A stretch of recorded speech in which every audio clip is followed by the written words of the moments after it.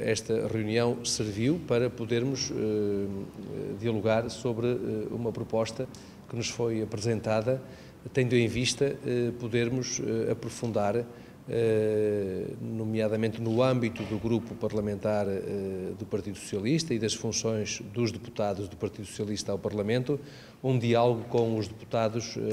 em Espanha, tendo em vista cultivar uma maior proximidade eh, não apenas entre os parlamentares dos dois países, mas com essa aproximação contribuirmos para que as jovens gerações eh, possam elas próprias também criar uma cultura cívica e política eh, que valorize valores que são fundamentais ao Estado de Direito. As relações eh, são uh, historicamente muito positivas e têm, uh, nos últimos tempos, ganho um alcance construtivo muito relevante e esse alcance é tão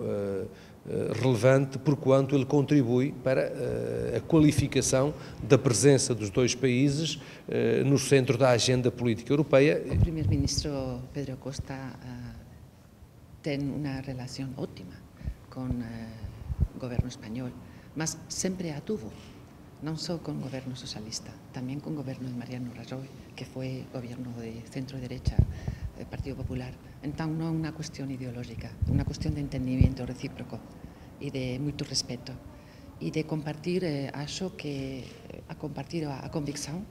de que as relacións entre Portugal e España son absolutamente estratégicas.